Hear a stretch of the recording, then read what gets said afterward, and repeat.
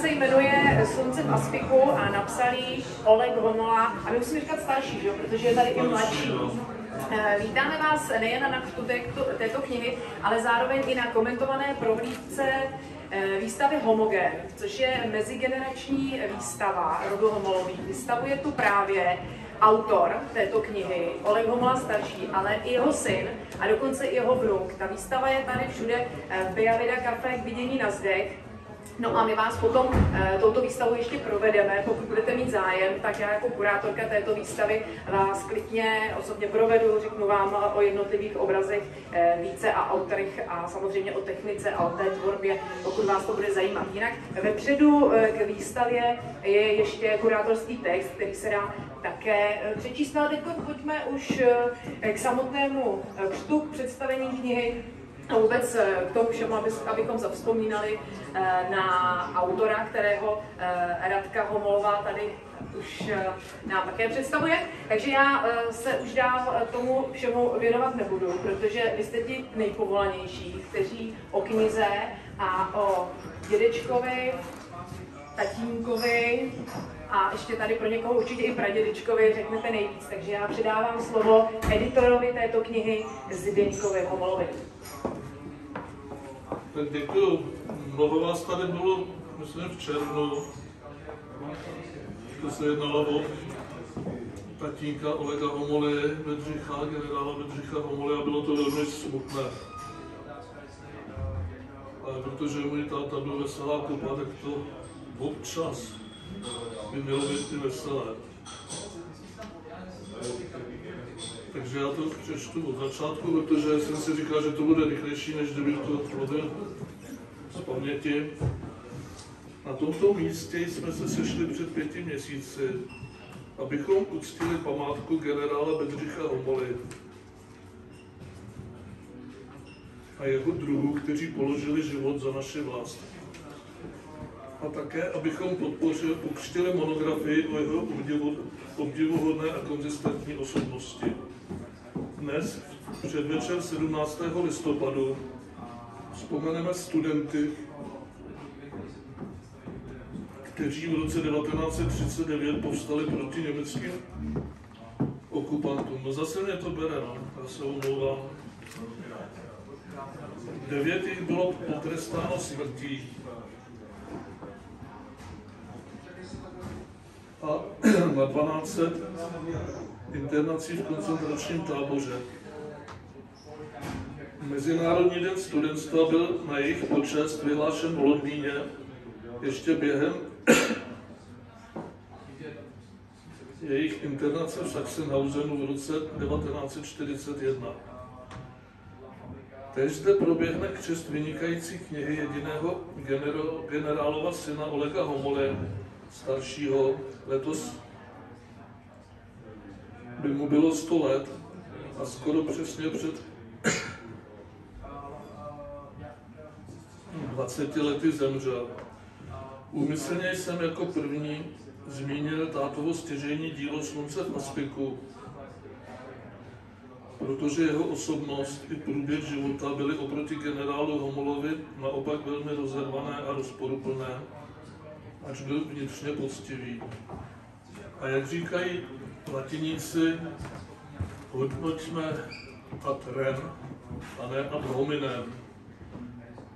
Tedy posuzujeme, posuzujeme dílo a ne autora, který měl ostatně několik vzájemně protichůdných etap života. Přišel však k tomu jako onen přísloveční slepý houslím ve věži Galiborce. Stojíme na prvním bastionu barokního opevnění Malé strany a Hračan na okraji jednoho z nejkrásnějších míst planety. Nad námi na úpatí Petřína leží malostranská Sokolovna, kde Oleg Homola cvičil a hrál basketbal. Kousek vedle je bývalá reálka v dnešní Helichově ulici, kde studoval a za dalším rohem v Karmelické ulici bydlel té škole prý vysely dlouho výsledky běhu studentů na 60 metrů, který táta vyhrál. A zapsaný čas byl lepší než tehdejší světový rekord. Věřte, nevěřte. Ale táta byl v mládí opravdu nabušený sportovec, jak se dnes říká. Eh, Ano, tady prezentujeme celou dobu. No, ale tady, Tady je svalstvo. ta, tady je někde ta suška.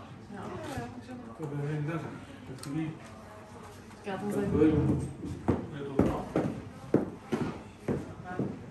Ono to je teda, jako autoportrét by to mohl být, ale není to portrét, ale je to torzo, takže autotorzo. Jak jsem říkal, otec byl rozhodovaná osobnost.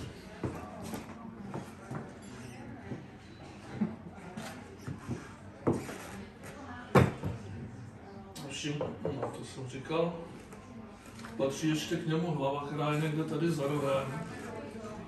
A nohy, které vám ještě připomenuly Usaina Bolta, takže to asi bude pravda.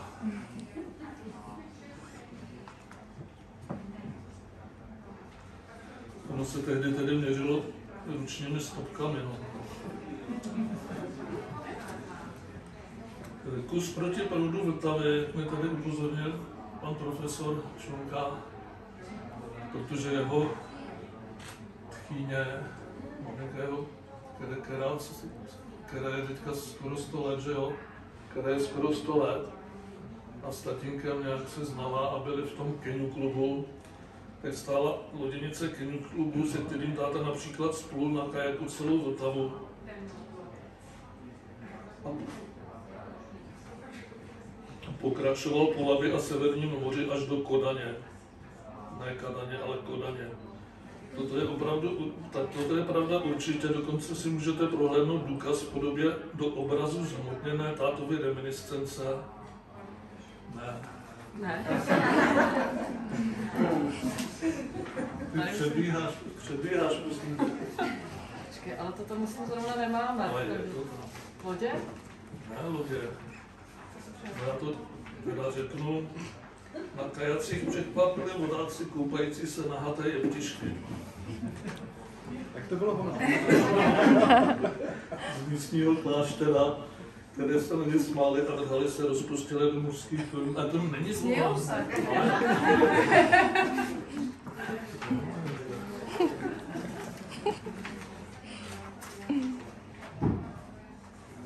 No, to je slepený. Tak prostě tam měl... A, ale není to moc, o moc méně mluvné, takže... Táta, jak vidět, náruživě maloval. Většinou krajiny, zátiší a portréty podle skutečnosti, ale nejhodnotnějšími jeho díly jsou e, obrazy podle zjitřených vzpomínek, zejména těch na koncentrační tábor, kterého stejně jako mnoho jeho kolegů studentů celý život strašili. To je kombinace toho, že se dojímám a kombinace, že blbě vidím. Ještě v létě jsem to četl bez problému. No. Tyto obrazy jsou v knize jako ilustrace. Táta byl renesanční člověk, měl dlouhou řadu zájmů a širokou duši. Na rozdíl od těch fotek, které jste viděli, tak v pozdějších věku měl i široké tělo. Myslím, že to brácha pak bude komentovat. Myslím, že mu váha 150 na 150 kg nestačila. Ale to bylo v nejhorším, druhém nejhorším období jeho života. V koncentráku byli taky stloustnul, ale to bylo, když pracoval nějakou dobu v kuchyni.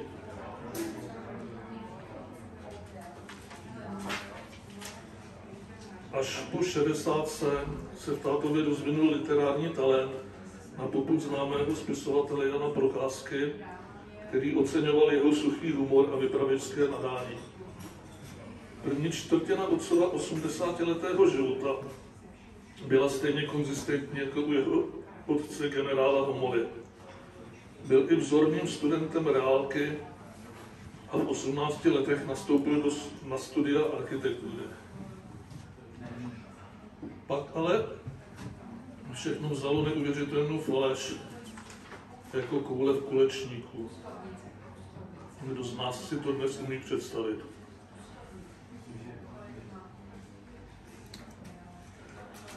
Z 17. listopadu 1939, šest týdnů po tátově nástupu na techniku,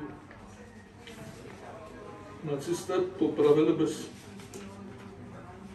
soudu devět vysokoškoláků a dalších 1230 umístili do koncentračního tábora Sachsenhausen, kde tedy táta prožil tři roky v nesmírně krutém prostředí.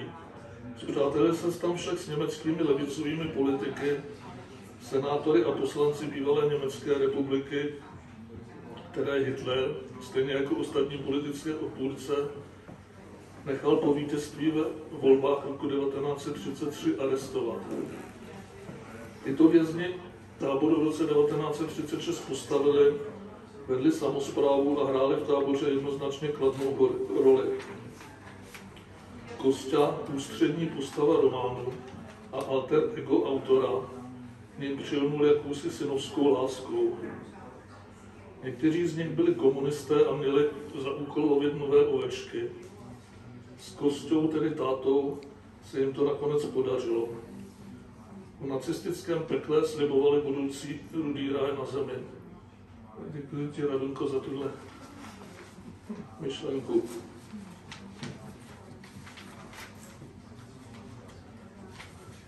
Rudá srdce, jak se říkali, ovšem žádní beránci nebyli. Chtěli mít Berlín hlavním městem světa, tedy komunistického, jen je Hitler předběhl. Nicméně po smlouvě Německa a Sovětského svazu o vzájemné, vzájemné pomoci a neútočení se rudí vězni i táboroví esetáci radovali, že se spojili oba socialismy, nacionální i komunistický, a bojují prý za dělníky proti západním plutokratům, tedy vládě bohatců. Nejradši bych o následujícím tématu vůbec nemluvil, ale mnozí si možná přečetli heslo autorovi, autorovi ve Wikipedii a podívali se, tak to chci uvést na pravou míru. Dlouho jsem nemohl pochopit, jak se otec syn Masarykova generála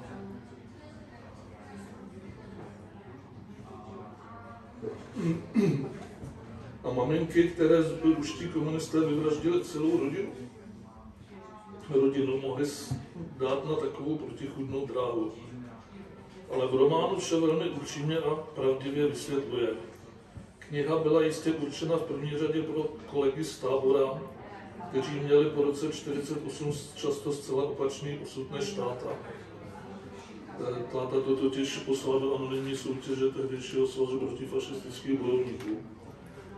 Zrovna jeho nejbližší kamarádi, v knize tolikrát zmiňovaní, strávili léta v komunistických lágrech, či byli vyloučeni ze škol.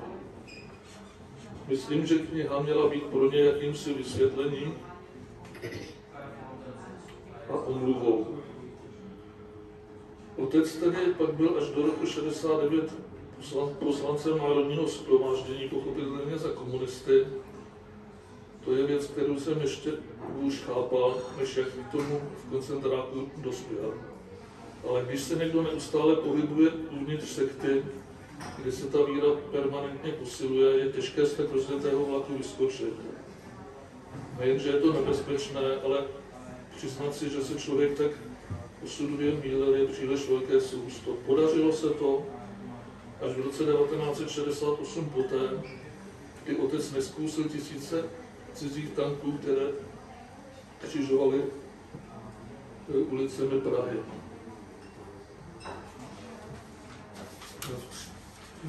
Šíset členem parlamentu se jako jeden z deseti zdržel hlasování o pobytu sovětských vojsk na našem území.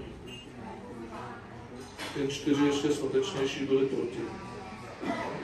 Poté se z prominenta stal dezidentem, což rodina přijala s velkým ulehčením až jí to přineslo faktické problémy. Povoláním byl otec koncem 60. let náměstkem ministra kultury pro knihovnictví a muzejnictví. Než byl, a, ne, a než byl definitivně odsunut na okraj společnosti, pracoval jako ředitel památníku národního písemnictví, kde také vytvořil 22 stránkovou encyklopedii českých nakladatelů, do té doby nespracované téma památníku zaměstnával dizidenty, kteří jinak skončili v kotelnách a umytí výloh, například Luboše Dobrovského, budoucího kancléře Václava Havla. Nakonec tedy táta zmoudřel nejen v našich očích, Byl totiž z té sekty venku. Já nevím, jestli ještě vydržíte, já to tady mám eh, kurzívou, abych to třeba neříkal, ale to řeknu. Mimochodem jeho umělecká činnost se mezi lety 48 a 68 omezila na provozování iluzionismu. A to nemyslím jen přeneseně.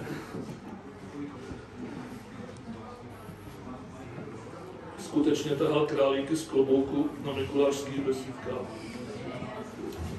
Nebyl sám jeho kamarádi v parlamentu vyšší velikáni české kultury Nezval či Drda na tom byli. na tom nebyli se svým socialistickým realismem omocní. Jan Drda, jak mi vyprávěla maminka, prý sedal v Dobřížském parku a brečel.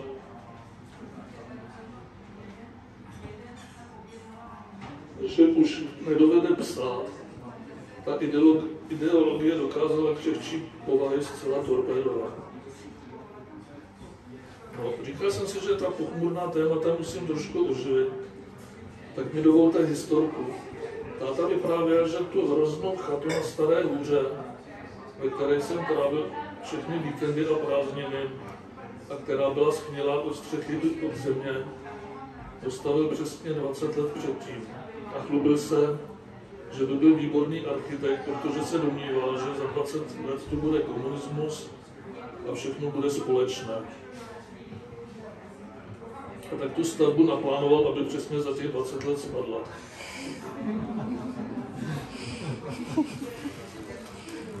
tak se i stalo, taková byl mrcha.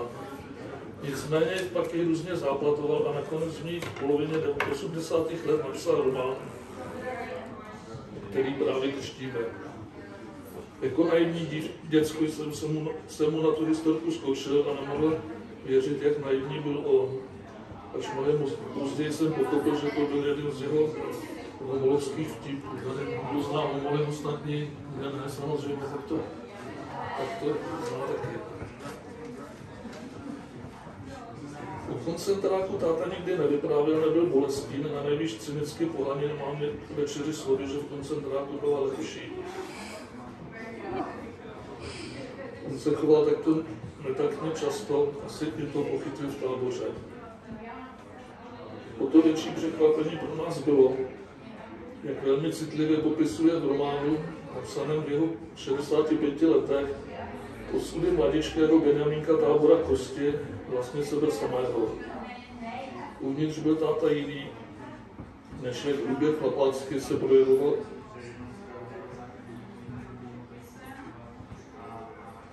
projevoval na, na venek. Dostal se prostě do špatné party, ale ten dobrý základ z dětství někde v skrytu duše zůstal.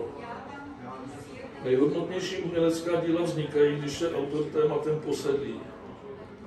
Tak to v případě, v případě Slunce a Spiku nepochybně bylo. Je neuvěřitelné, kolik podrobností si po, si po půl století dovedl vybavit a vychrlit do 1080 stránek strojopisu, i když čerpal i z jiných zdrojů. Už, už to bude končit. V románu se nepíše jen o studentech a hrůzách, které se v lágru děly, ale i o proslových osobnostech v čele s Josefem Čapkem či Ivanem Herbenem. To byl novinář, který pak eh, založil rádio Svobodná Evropa a předtím seděl v redakci s Josefem Čapkem i o Antonínu Zápotockém, kteří tam také byli vězněni. O vzpomínkách na tatínka generála Homolu, kterého opravdu miloval, nakonec mnozí z vás slyšeli úryvek z románu při minulém setkání. Román oživují také intimní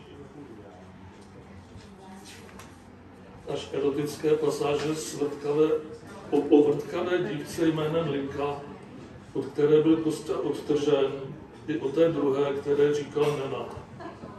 To je, prostě ty, ty si přinesla, ty si přinesla jen jednu Ještě máme jednu sošku.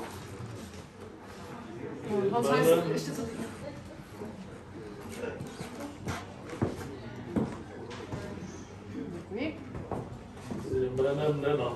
Vyskytují se zde i francouzská dívčí jména, zatímco přitažlivá Žanet. Vstřícná byla jediná dívka, kterou spatřil během internace. Mike a Ivon byly linčenými prsy. Ty jsi to zase dala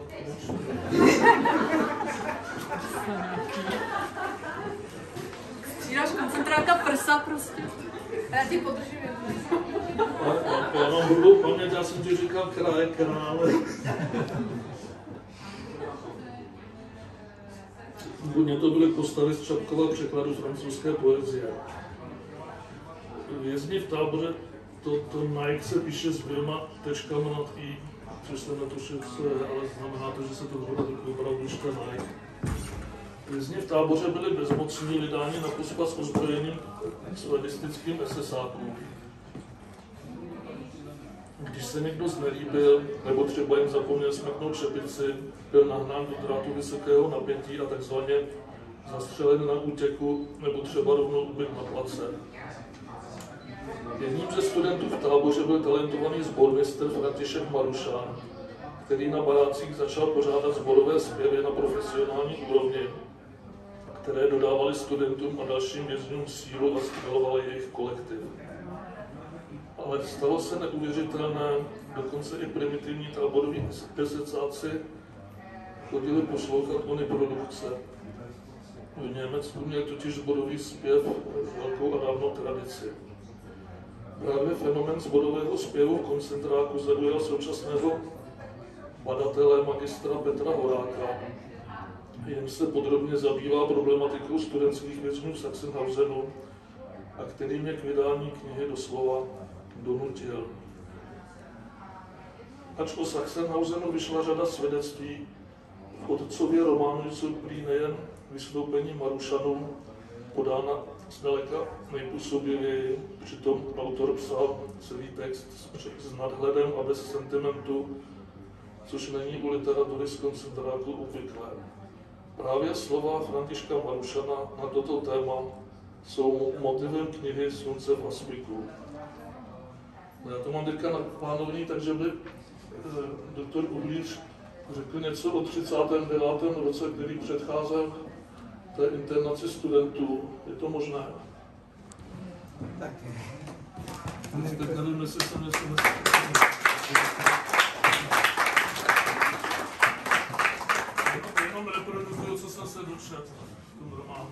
Dámy a pánové, dobrý večer.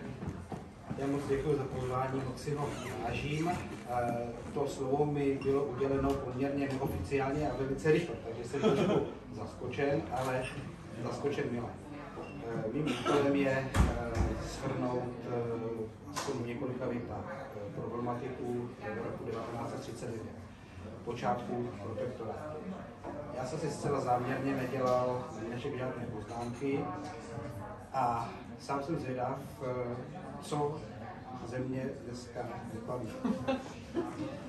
Protože tady jsou víceméně dvě polovy. Pola historiková, kde bych opravdu mohl udělat oficiální přednášku a polová vás, nehistoriků, kteří se tady samozřejmě nechtějí nudit nad odborným tématem. Když se podíváme na začátek toho roku 1939, tak se ocitáme eh, v podstatě v podmínkách prvního satelitu Třetí říše. Pomíchovské Československo, které trvalo pouhých 166 dnů, nebylo ničím jiným. A byly tady velmi negativní jevy typu spolupráce české policie nebo tedy československé policie s Gestapem, vydávání z naší strany německých emigrantů do Německa již tehdy. Byly tady jevy antisemitismu, kdy se profesionálně likvidovali právníci a lékaři a byla tady zakázána komunistická strana Československa a zase tady byly snahy udržet to, co zbylo z té první republiky, tak abychom se zase posledně museli stydět. A toto všechno najednou přerval březen roku 1939, kdy během tří dnů ta Československá republika, jak se oficiálně nazývala, zanikla. Zanikla vyhlášením samostatnosti Slovenska okupací Čech a Moravy a vyhlášením protektorátu Čechy a Morava. To znamená 14., 15. a 16. březen roku 1939. Já bych tady chtěl taky zdůraznit tu hrozně těžkou uh, osudovou chvíli Emila Háchy, který byl vystaven v Novém čínském kancelářství v ranních hodinách 15. března roku 1939, kdy dorazil do Berlína, byl uveden do hotelu Adlon a řadu hodin čekal na přijetí v Novém čínském kancelářství. Když se tedy nakonec do provodu ministra zahraničních věcí Františka Chvalkovského skutečně k tomu Adolfu Hitlerovi dostal, tak byl vystaven neuvěřitelnému tlaku. V podstatě měl možnost pouze v tom, jestli podepíše, pane prezidente, tady když se podepíšete na ten vytečkovaný řádek, tak se vlastně nic zásadního nestane. Český národ bude dále žít eh, v rámci Velkoněmecké říše. Pokud nepodepíšete, dojde k bombardování Prahy. Tomu řekl otevřeně Hermann Göring. To, že tady Luftwaffe v žádném případě nemohla vzletnout, protože bylo tak špatné počasí, samozřejmě Hácha vidět nemohla. A Hácha tak dlouho odolával, až umřel. A Hermann Göring zavolal svého osobního lékaře, mu přišlo injekci hroznového cukru, protože se německá strana v tu chvíli strašně vyděsila, že tam Hácha zemřel. A Hácha tady, a to je dobře vidět na obou těch protokolech, protože ten protokol jednostránkový je vyhotoven ve dvou párech.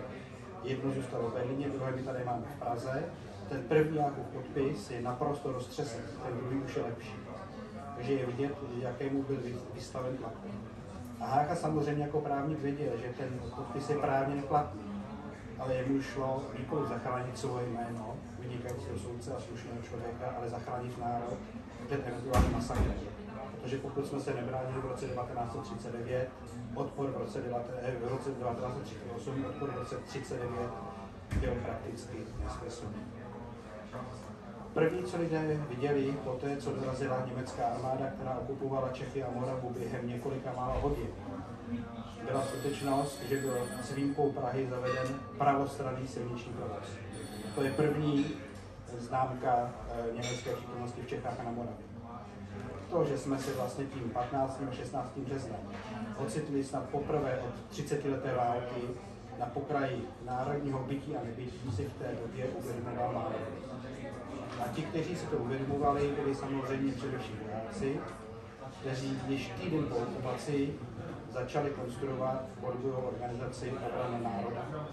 A vznikly další odbojové organizace, petiční výbory, v nich zůstaneme, eh, politické prostředí, zemský národní výbor. A to byly základy domácí odboje. Možná bych měl ještě zdůraznit, že novinář, který jsem zapomněl, že eh, základ zahraniční odboje vzniká už 13. března odletem eh, zpravodajských důstojníků do Londýna s tehdejším Eh, plukovníkem eh, generálního štábu Františkem Bravcem. A jak reagoval národ? Národ reagoval tím, že když tedy německá armáda dorazila, někdo hrozil pěstí, někdo plakal, někdo nadával. A reagovali tak i na ty přehlídky eh, v březnu 1939 na Václavském náměstí, které byly dvě, 16. a 19. března. A potom začaly poutě na významná místa eh, Čech a Moravy, ať to byl tábor eh, Lipov na Řípu, ať to byla Pout na Blaník, ať to eh, byly další poutě v Jižních Čechách a na Moravě. A máme zde i na začátku května pohřeb národního básníka Karla Hinka z Panteonu Národního muzea na, na Slaví. A zanedlouho poté byla dopadena Viktora první odbojová organizace eh, tiskových úderníků eh, Zdeňka Šmorance. To byly vlastně první hlavy, které padaly. Samozřejmě gestapo už v té době e, fungovalo bohužel příliš dobře, takže byly likvidováni emigranti němečtí v rámci těch prvních zastupovacích akcí, které se shodou okolností jmenovaly Vytrčený kříže a byli e, transportováni do německých koncentračních táborů, byli zatýkáni naši komunisté. Ale stále ještě nebyla válka a Německu se podařil fantastický tah. V 23. srpna roku 1939 došlo v Moskvě podpisu tzv.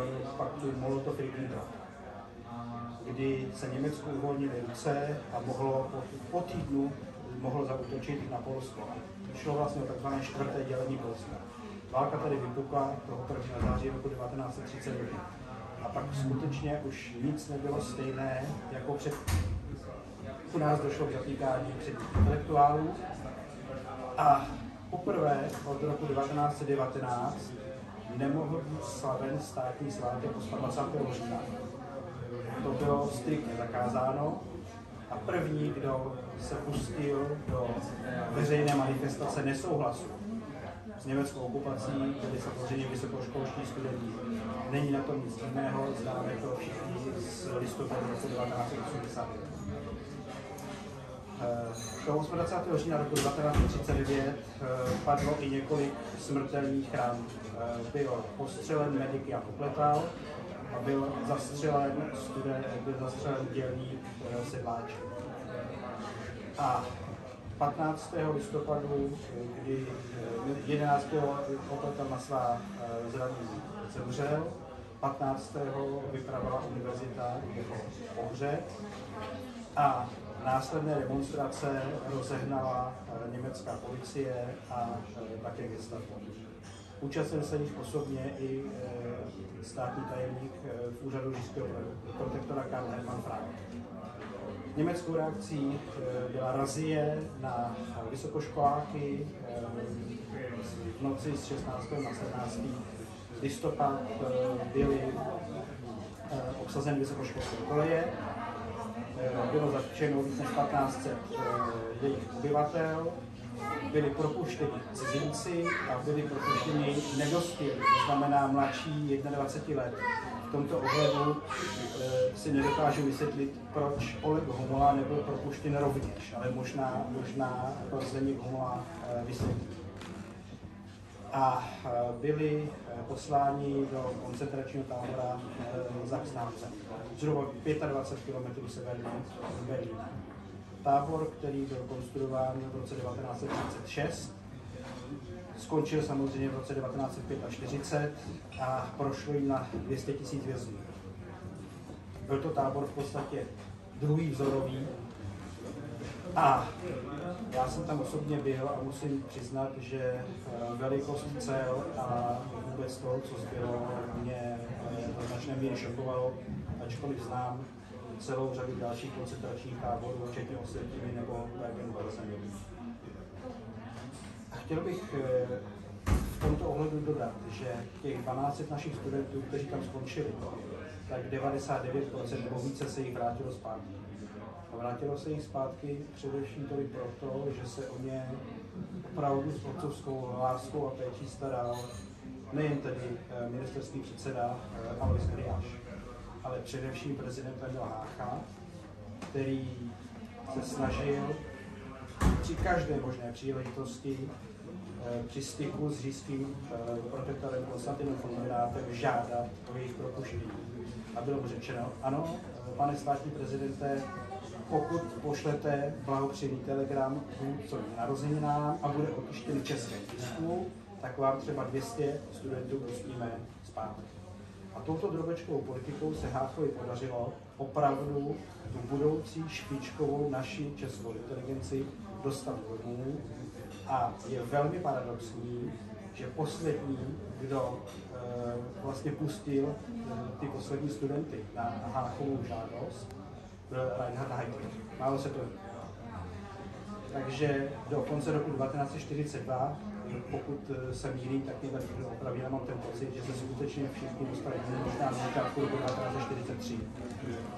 A e, o tom, jak to bylo v tom koncentračním táboře konkrétně, hovořit nehodlám, nebo na to nejsem přímým odborníkem, nicméně domníváme se, že mm, o tom bude samozřejmě velmi dobře hovořit zde křtěná kniha, a já jsem moc rád, že vypadá takhle krásně a nemohu než blahopřát eh, panu doktoru Zdeňku Molovi za editaci eh, této působové publikace. Děkuji vám, vážení přátelé, za pozornost.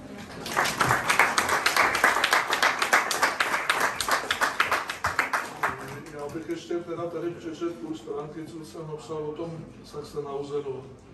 Možná se budeme trošku křížit s panem doktorem, který už něco řekl, ale a potom by Radka přečetla úryvek z toho románu. Potom bych dal předal žezlo Benity Homolu. Je totiž tatínkovi mnohem podobnější než já, já jsem po mamince. Řada lidí se domnívala, že tábor byl původně olympijskou vesnicí, ale není tomu tak. V roce 1936 byla opravdu v Berlíně olympiáda již ve stínu Hákového kříže. Olympijská vesnice byla postavena asi 30 km západně od Berlína. Měla dlouhé ubytovny postavené do vějíře. Hned po skončení olympiády byl postaven koncentrační tábor, také západně od Berlína, ale o 30 km severněji a měl stejný vějířovitý průdorys snadno nakreslil stejný projektant. Když bývalí vězni viděli zbytky olympijské vesnice, mysleli, že jde o věznici, kde byli internováni. Tak to je celá stránka nepůlka. Tábor byl označován jako moderní výchovné zařízení. Delinkventi měli být převychováváni k nacistické ideologii, která byla v Německu obdivována. Tábor navštěvovali kontroly Mezinárodního červeného kříže, proto tam byla například táborová knihovna, kde se táta při studiu z filozofie seznámil s, s oněmi rudými srdci. Političtí vězni totiž nosili na levé straně rudě červený trojúhelník špicí dolů. Jako perličku můžu uvíct, že jsem na původním projektovém plánku tábora našel uvnitř vězeňského areálu i barák nazvaný Bordel, německy psáno s dvěma na konci. Asi to byl teda opravdu věstinec, ale během internace studentů tam rozhodně nebyl. Tábor byl koncipován jako vzorový a testovaly se tam později různé metody, které se pak využívaly v dalších táborech, mimo jiné plynové komory, střílení do zátilku pod záminkou měření výšky v lékařské ordinaci a tedy. Tábor měl kapacitu 16 000 vězňů, došlo jim říkal pan doktor, na 200 tisíc osob, z nich cca polovina zahynula. Velká část z nich nebyla v táboře vůbec zaevidována, přišla jen pro smrt. Typicky šlo, typicky šlo o hromadné popravy či smrt hladem sovětských válečných zajatců, nebo třetí říše ani Sověti nerespektovali ženevské konvence. Krematorium bylo několikrát rozšířeno a byly přidány mobilní pece s nízkými komíny a nedokonalým spalováním, které zamořovaly tábor. Studenti, studentů bylo internováno podle jmeného seznamu 1230, nepřežilo jich několik desítek. Oficiálně byli označeni jako rukojmí, což nebyla žádná legrace, protože v táboře bylo například hromadně popraveno 30 studentů Krakovské jagellonské univerzity, též rukojmích odvetu za tři německé důstojníky zastřelené partizány v poměru 10 k 1. Táta teda byl propuštěn jako v poslední várce 23. prosince na Vánoce dopuštělo se buď na Hitlerově narozeniny nebo na Vánoce, ale asi dva nebo tři studenti v táboře zůstali, protože se nějak ztratila jejich dokumentace takže ty byly propuštěny až někdy na jaře 43. Dnes je tábor pěkným místem, valná většina baráků je zbořena, několika zbylých je expozice o praktikách v táboře. Musím říct, že jsem se z návštěvy tábora nemohl měsíc zpamatovat, to jsem tam byl dvě hodiny jako návštěvník s rukama v kapsách. A ne, tři roky na ostro. No teďka na co narazil doktor Ulíš, tak já to přečtu, to mám tady sice kurzivou, jakože to číst nebudu. Studentů bylo 17. listopadu zadrženo původně téměř 2000, byli schromážděni v kryté jízdárně ruzínských kasáren a cizinci, zejména Slováci, byli propuštěni. Propuštěni. Propuštěni byli také studenti do 20 let věku. Výjimkou byl právě Oleg Homola, kterému bylo teprve 18 a 3 čtvrtě. Sám románu uvádí, že ve chvíli, kdy se mladiství měli přihlásit v hále, ještě nebyl. Ale podle paměti Kuneše Románový Nešek, Oleg myslel, že v táboře bude sranda a tak chtěl s nimi. Asi to byl typický tatínkův vtípek. Ovšem, teďka dám takový oslý můstek. Nasledující zkrásená ukázka z, romana, z románu, kterou přečte dcera Matka, by, mohla napovědět, že se táta cítil za internaci studentů spolu, spolu s odpovědný a nechtěli v tom nechat. Zneškodnění českých intelektuálů a důstojníků ovšem pochopitelně vedli Hitlera mnohem podstatnější důvody, a to nejenom u nás.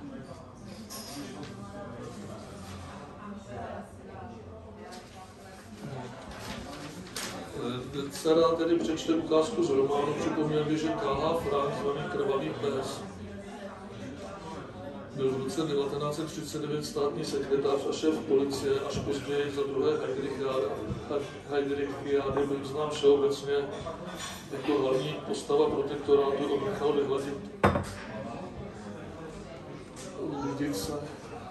V roce 1946 byl upraven oběšením na dvoře pankrátské věznice za přítomnosti více pětitisícového davu. Doktor Kurlíř o něm napsal, o napsal takovouhle monografii a na posledních stránkách jsou takový, jak vysí na té pankrátce, což jako někoho možná potěší. Prostě Vzhledem k tomu, že zítra je 17. listopadu, rozhodli jsme se vybrat právě vzpomínky dědečka na události které tomu před, uh, předcházely, na jeho vzpomínky z demonstrací. A já ještě jednou připomenu, že tady Kostě v románu je Oleg. Toho roku byl poprvé v Kostěvě životě 28. říjen pracovním dnem. Je to vyšinutý 28. říjen. V 9 mám deskriptivu, uvědomil si Kostě. Chtěl jsem se dostat včas na techniku na Karlák, musel jsem si připstat. Říkalo se totiž, že se má dnešní svátek slavit tichou manifestací. Nejezdit veřejnou dopravou a nenakupovat v obchodech. Ukázat tak, že jsme tady, že s tím, co se děje, nesouhlasíme, ale neprovokovat. Akorát jsem nevěděl, proč nemám chodit na Václavské náměstí, jak mě taťka kladl na srdce. Očekával snad, že se tam sebele nějaký binec? Z postele se mě moc nechtělo. Včera jsem byl na premiéře nového filmu Jaroslava Žáka ve Fričově režii Cesta do, stu, do hlubin Študákovy duše s Hrušínským, Teškem, Vnoučkem a jinými, které jsem uznával. Ještě po probuzení jsem se chechtal, ale navzdory všemu jsem vstal z rodiny první. Vyběhl jsem z Davids na Prašný most, prošel jsem kolem hlavní hradních nádvoří, letěl po nových zámeckých schodech na malou stranu, kam byl přes most Legí k Národnímu divadlu a tam, místo abych zamířil na Karlovo náměstí do školy, šel jsem národní třídou na Václavák. Jestli se tam bude něco dít, musím to vidět. Elektriky jezdily skutečně prázdné. Už proto bylo na ulicích více lidí než obvykle. Někteří měli sváteční oděv, tu a tam se myhla černá kravata. Všichni se tvářili velice vážně. Většinou směřovali stejným směrem. Mnozí si připevnili na rozepnuté čepice kšiltovky, takže se zdálo, že mají na hlavě Masarykovu furážku. Trikolory se tady volně prodávaly. Mnozí měli i malou československou vlaječku. Někde se tvořily hloučky, ze kterých se ozýval tlumený hovor. Od Národního muzea se stupovala středem vozovky rozvinutá rovnice pražské policie tak, jak ji lidé znali z ulic, v černých uniformách a černých helmách. Lidé se zastavovali a pozorovali, co se bude dít. Když se policajti přiblížili, lidé se začali opět procházet. Prošel jsem až nahoru, ale nikde se nic nedělo, vzpomínal dál Kostě. Z čeho měl vlastně taťka obavu? Vrátil jsem se a namířil si to vodičkovou ulicí na Karlák k české technice. Přednáška netrvala dlouho. Když jsme se standou vyskočilem vyšli z budovy, dostali jsme se do jakéhosi frmolu. Na technice už zřejmě skončily všechny přednášky. Proto se to hemžilo na chodbách okolo parku, ale i ve vozovce studenty. V jednom místě hemžení řídlo. Staly tam dva či tři černé německé kabriolety. Kolem nich máchali rukama šedozelení, svátečně vyhlazení důstojníci, jako by rozháněli dobytek. Zřejmě nemohli projet. Takový obrázek jsem jednou viděl na Slovensku. Večer se vracely všechny vesnické krávy z pastvy a obkloutili protijedoucí auto, takže nemohlo dál. Muselo čekat. Tady to byl od těch skopčáků nerozum. Byli sevřeni v mužském davu a chovali se jako pominutí. Taková drzost. Nejzlostněji sebou mrskala taková vychrtlá, předčasně zestárla, vytáhlá houže, která se snažila zatáh- zasáhnout studenty bičíkem. Dva nebo tři dokonce zasáhla. To mě tenkrát rozčililo k zuřivosti. Jak si dovoluje takhle nakládat s lidmi? Aniž jsem si cokoliv jiného uvědomil, vrhl jsem se směrem k byči, prorazil si cestu k té vychrtlině a když měla byčík vstyčen k dalšímu švihu, skočil jsem po její ruce, jak jsem byl zvyklý skákat při basketbalu po míči pod košem. Nalehl jsem na tu kostlivou pazouru, skrytou v šedých hlazených rukavicích tak, že se tlačená mou vahou sama otevřela, takže jsem byčík drapsl a hodil ho daleko přes hlavy davu. Ho, ho, ho, ozval se souhlasný mužský ryk, promíchaný smíchem. Nevím, proč jsem ho tenkrát tím byčíkem nepřetáhl přes jeho vyždímaný ksicht. Asi nepatří k mé povaze být někoho, kdo bije. Že by to byl tenkrát, bylo tenkrát to Masarykovství, humanitní výchova. Místo seku jsem od toho špejletého panáka odskočil a utíkal uličkou, která se jakoby zázrakem přede mnou otevírala a za mnou neprodyšně zavírala. Nad hlavou mě poletovala nenávistná sršící slova. Fast ten halunke, chyťte toho darebáka, holonka. Dokonce jsem zaslechl nějaké výstřely. Standa mě doběhl v reslovce. Udýchaně na mě křičel. Návem si můj kabát, ať tě nepoznají. Svůj někde zahoď.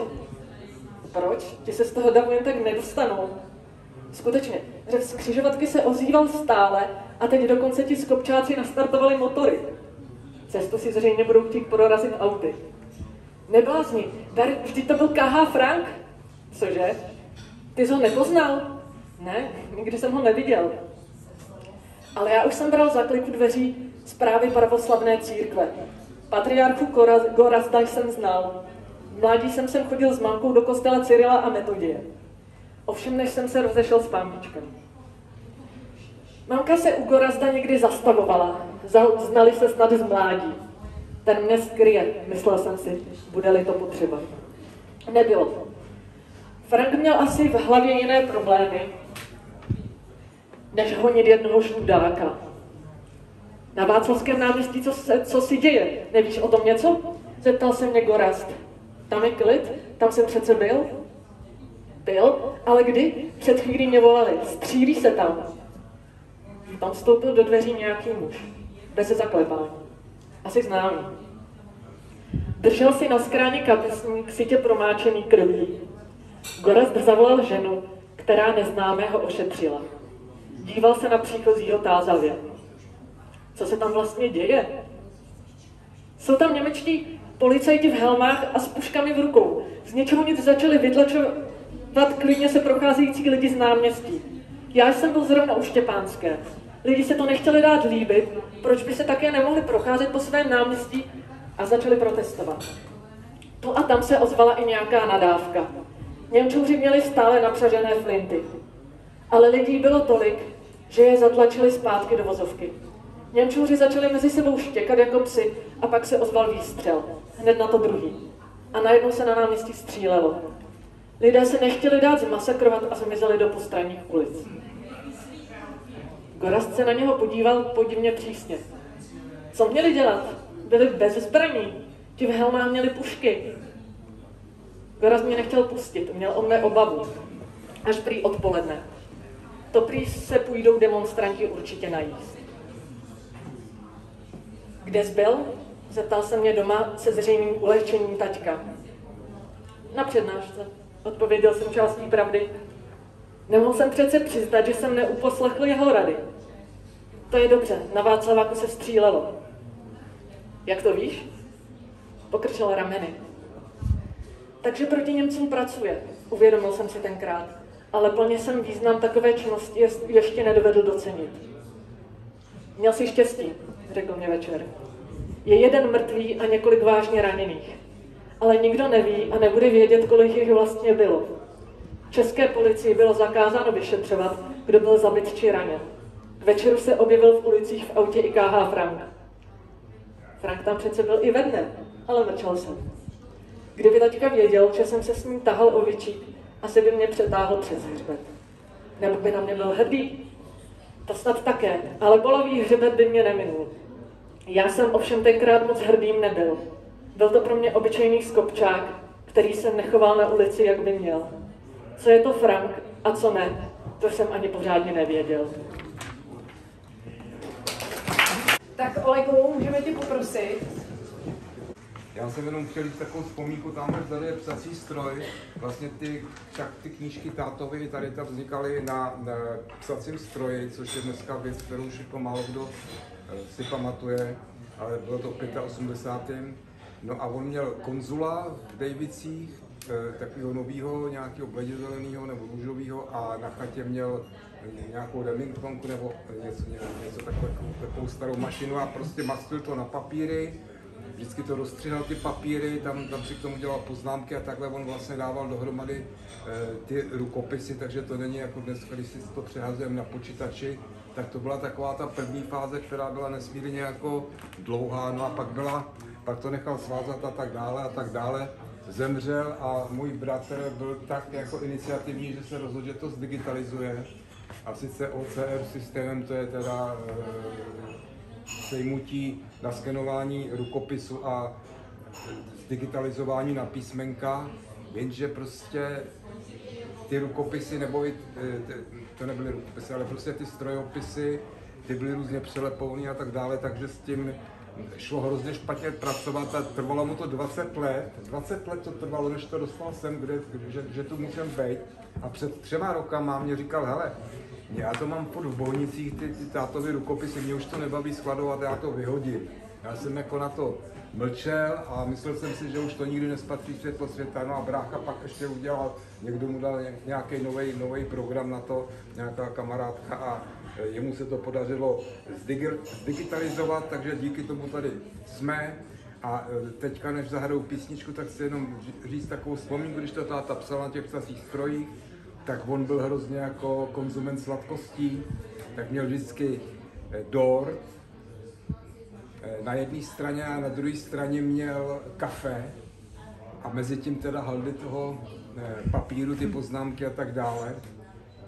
A to kafe, to mělo velmi zvláštní průběh, protože táta byl logrista. Jestli nevíte, co je to logrista, nebo tušíte to někdo? Logrista je člověk, který vypije první kafe, toto to ostrý, mluvím o kávě, ale tomu nechutná. A ten logr, co normální člověk vyleje do záchodu a ten hrníček opláchne, tak táto ho zalil novou horkou vodou, to vypil. A, ten, a zase ten další, co zůstal vlastně, vlastně ten původní, tak ten zalil ještě třetí várku, takže on jedno kafe pil na třikrát. A dokonce to dospělo tak daleko, že tu první takový tu čerstvou kávu, to třeba dal někdy mě, říkal, má, vypít to, to mě nechutná, ale ten logr nevyhazuj, že tak jsem to vypil, pak jsem mu dal logr a on si to teprve eh, vychutnával. Takže to byl eh, můj táta. Jinak zahrnu teďka písničku, která se na něj váže, protože eh, se jmenuje Sádlo. Brácha o tom mluvil, že náš táta byl korpulentní a já jsem vlastně ve své době na to téma složil písničku, kterou vám teďka zahraju která končí dokonce jedním ruským slovem, ale to vám teďka neprozradím. A protože eh, lidi si myslí, že, jsme, že, že jako jméno Oleg je ruský jméno, tak tady dám hádanku. Víte někdo, co je to za jméno, jaký to má původ? Aleksandr. Aleksandr? Aleksandr? Ne, špatně. Víte ještě někdo dál? Myslím, že je to německý. Trošku přihořivá, ale trošku severský. severský správně, je to skandinávský švédský jméno Helge a jeden z tvarů je Oleg a je to vlastně rozšířený po celé Evropě a ještě to má dva další tvary, samozřejmě je to známé jako z Ruska, protože Rusové mají hodně, hodně velkou populaci a tam, tam, tam, se to, tam se to nosí. Takže je to švédský jméno Helge. Takže prosím vás,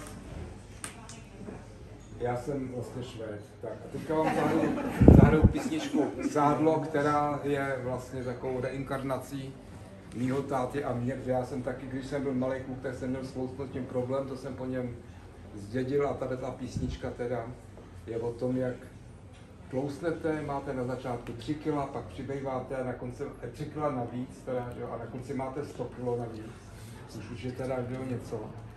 Ale má to právě dobrý konec, má to takovou pointu, že to, se z toho uh, ukáže chlap, já někomu odevzdám mikrofon, uh, René, nebo... Nej.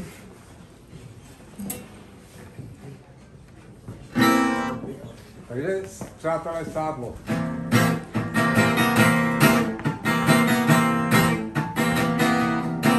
Mám kila sádla navíc, nebo je to falte na triku.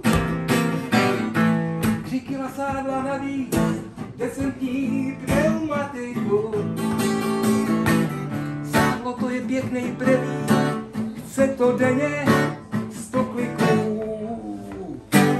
První, druhý, třetí, čtvrtý, mám 10 kilo sádla navíc, pěju písně molový. 10 kilo sádla navíc, holku těžko ulovím. Sádlo to je pěkný trh, sundá i hvězdy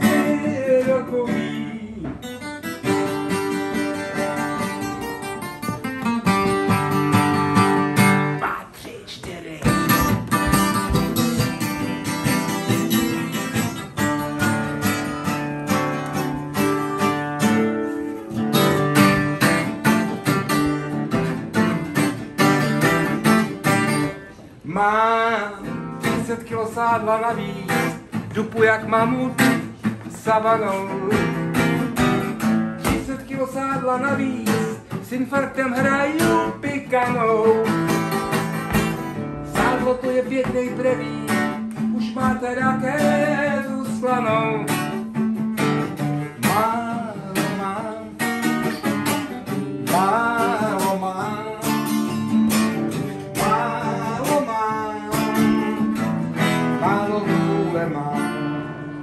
To mám 100 kilo sádla navíc, chtěj se mnou točit reklamu. 100 kilo sádla navíc, v TV budu hned podán. Sádlo to je pěkný preví a sláva trochou balzámu.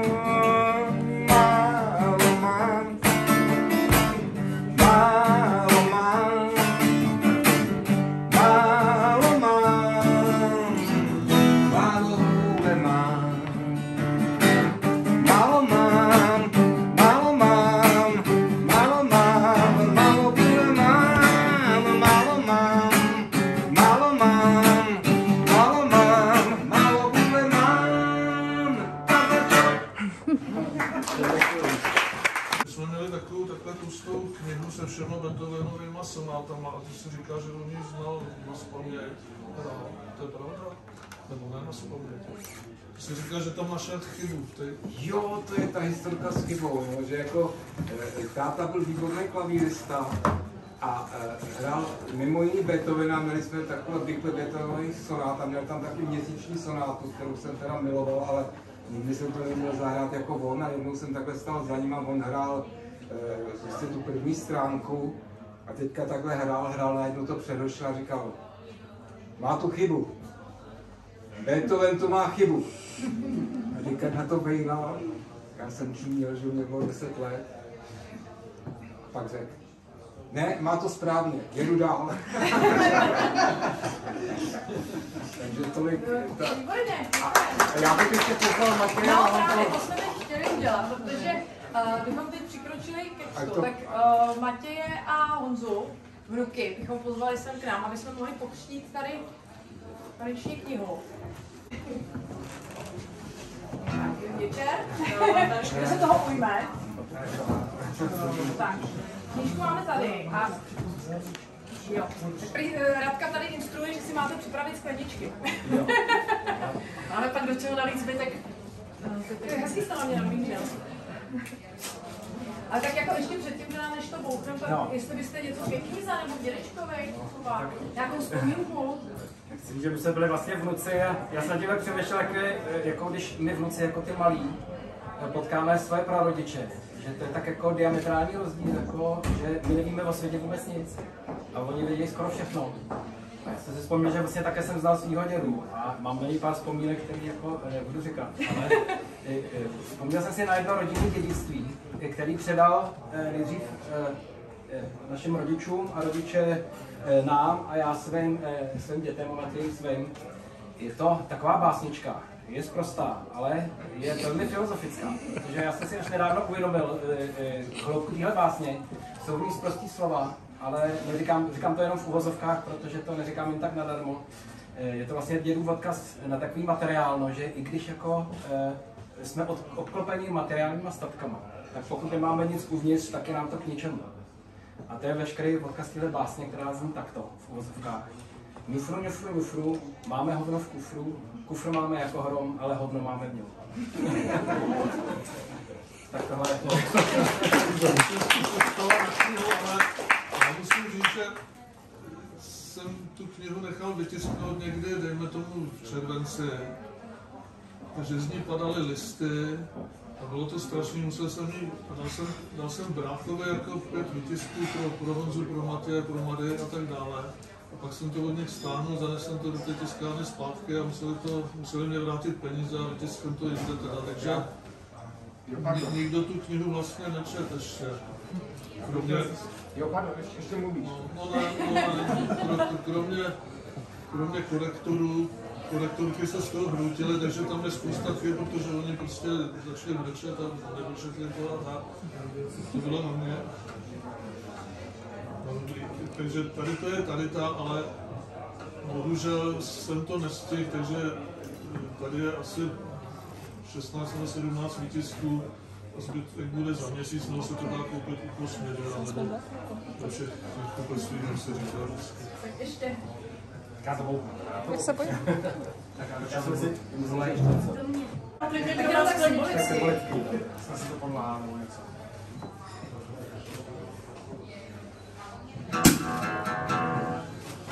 Tak symbolicky. Se daří.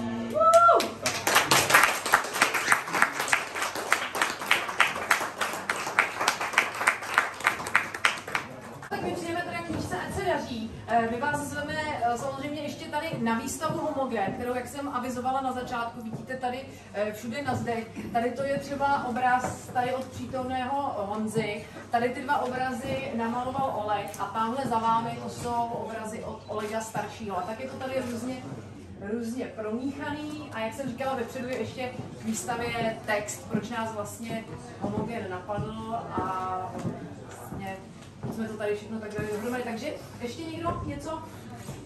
To já. Nic, ještě jste vůbec skoro nemluvil. Dobrý, tak jo, tak děkujeme, Radko, taky děkujeme. tak hezký večer.